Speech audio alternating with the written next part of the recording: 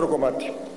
Άκουσα την κριτική ότι δεν υπάρχει κάτι το οποίο δείχνει ότι πώς θα δοθούν οι αυξήσεις και ότι μειώνεται η συνταξιοδοτική δαπάνη. Το είπα και πριν. Η συνταξιοδοτική δαπάνη μειώνεται και αυτό δεν είναι αρνητικό. Είναι θετικό υπό την έννοια ότι πάμε και προσεγγίζουμε το μέσο όρο της Ευρώπης. Είμαστε πλέον με ένα ασφαλιστικό σύστημα το οποίο έχει προοπτική μέλλον και κανείς δεν μπορεί να το διαταράξει. Προσέξτε όμως, διέφυγε από τους ηγητές να πούν ότι μέσα στο σύστημα, μέσα στην ασφαλιστική μεταρρύθμιση υπάρχει ένα νούμερο, ένα ποσό 0,5% του ΑΕΠ κάθε χρόνο από φέτος 0,5% του ΑΕΠ κάθε χρόνο θα κατατίθεται μέχρι το 2070 υπέρ του ασφαλιστικού συστήματος της χώρας. Το 0,5% του ΑΕΠ είναι ένα δισεκατομμύριο σήμερα, το οποίο μέχρι το 70 με τη βελτίωση του ΑΕΠ που υπάρχει καταλαβαίνετε ότι αυτό θα μεγαλώνει και είναι υπέρ του ασφαλιστικού συστήματος της χώρας.